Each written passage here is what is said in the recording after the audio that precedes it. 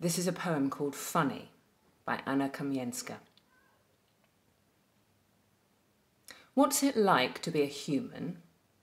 The bird asked. I myself don't know.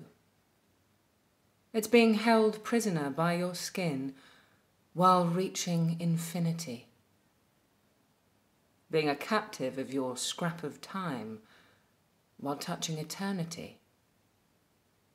Being hopelessly uncertain and helplessly hopeful. Being a needle of frost and a handful of heat. Breathing in the air and choking wordlessly. It's being on fire with a nest made of ashes, eating bread while filling up on hunger. It's dying without love. It's loving through death.